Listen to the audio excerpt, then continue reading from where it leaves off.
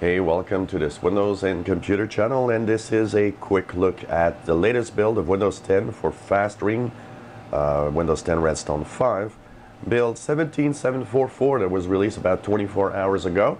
What's new? Nothing. So that's pretty much. Uh, it's really general fixes and improvements that they've done. And of course there's still a little bit of known issues but last list is actually getting uh, smaller and smaller. On the install side, I wasn't home to see the install phase. It seemed to have worked right and um, worked okay. So uh, that's pretty cool. As for the um, version, uh, it's very stable. I've been using it for the past uh, six hours approximately. No issues. It's been working well. It's been quite fast too. It's been pretty much uh, good performance off of the uh, latest version. So this is kind of, uh, you know, we're, we're, moving there to uh, what will be a good version of Windows eventually.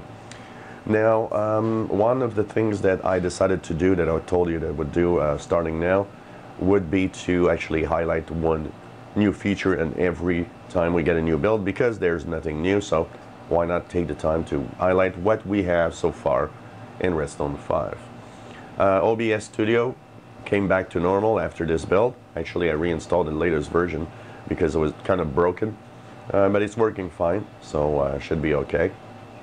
The little thing I want to talk about today is, uh, of course, what will replace the snipping tool, which is the screen snip um, that that's available now. So this replaces totally what we wanted to uh, do.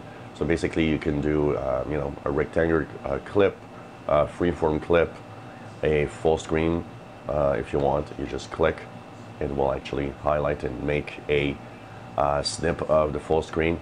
You have it saved to the clipboard where you can pretty much do what you want. So you see it here, the clipboard is actually appearing, telling you, hey, we got this snip of an image in the clipboard. So uh, with screen sketch and all of that, um, you can do, you know, uh, highlight, do whatever you want, change all the things, and it's really, really very well done, and uh, it's one of those things that I really find cool in the Redstone to 5 builds. Um, so you'll be able to, you know, pretty much do uh, what you want in, in screen captures thanks to this uh, new screen snip. By the way, it's going to be called uh, Snip and Sketch, so that I guess if you try to, um, you know, get it or, or try to find it, if you're trying to find a snipping tool, um, you're going to get it.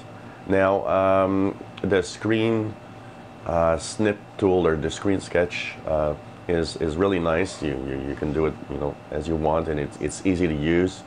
Um, and it will replace the snipping tool that will actually be removed. So if you're a, a fan of the snipping tool, you're going to unfortunately not really have that available anymore uh, in Redstone 5. So that's pretty much the little highlight of one of the features. Uh, it's available, of course, through your um, notifications area, the quick action buttons. You got screen snip. You can also uh, just type, I would guess, snip. And you will have snipping tool, and I would guess, huh, let's uh, try with screen snip. It still brings snipping tool. That's interesting. So I guess uh, it's better to have it by the button, um, and would probably be easier to find once it will be um, added and the snipping tool will be removed. So if you enjoy my videos, please subscribe, give us thumbs up, and hope that the install of this build went well for you. Thanks for watching.